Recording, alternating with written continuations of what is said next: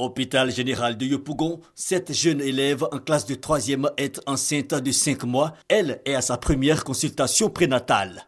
L'enfant, elle, l'élèvera seule. L'auteur refuse d'assumer. Je peux, peux me demander à mon âge, à l'âge de 18 ans, il est venu faire accouchement.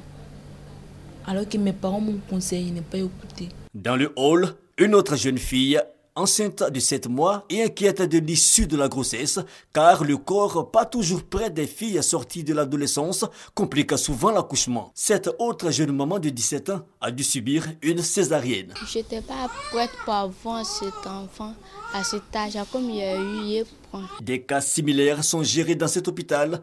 Pour la responsable des consultations prénatales, les 6 à 18 ans considérés comme précoces sont des patientes comme les autres.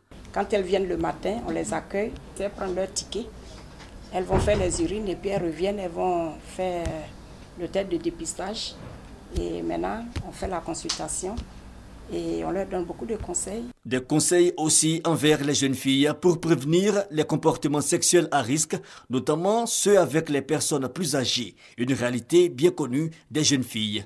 Souvent, je lui demande de se protéger, mais il refuse. Je sais pas. Ça m'inquiète parce que je peux avoir des maladies, comme lui aussi peut avoir des maladies. Les relations sexuelles précoces, pas toujours protégées et souvent intergénérations, certaines organisations dans le cadre de cette journée internationale de la jeune fille interpellent à un changement de comportement. Nous voulons qu'elle se réalise par elle-même et qu'elle que cesse, si possible, Hein, ce que nous appelons le sexe intergénération. C'est-à-dire que aller avec une personne plus âgée que vous, qui va vous utiliser juste pour votre corps et qui va vous donner de l'argent, ce n'est pas une solution. La journée internationale de la jeune fille, organisée depuis 2011 par les Nations Unies, est à sa première célébration en Côte d'Ivoire. Le thème retenu cette année, vaincre le mariage précoce et l'accès des jeunes filles à l'école.